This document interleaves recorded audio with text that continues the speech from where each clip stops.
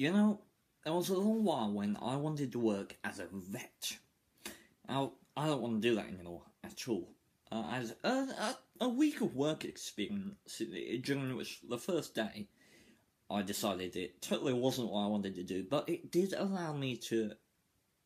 Well, the research I did meant that, means that I now know a lot of the pressure points on cats that that trigger their nervous systems do various things. So I I can, if I tickle a cat right here, then their back paw will go again and again.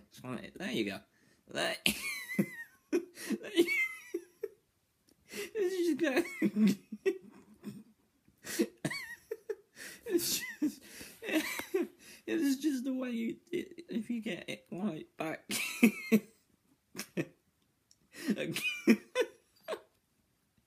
Ow! that is great. Ah, the anatomy of cats, episode one. What are you doing? Uh, let's do it one more time to send them off. One more time. One more time.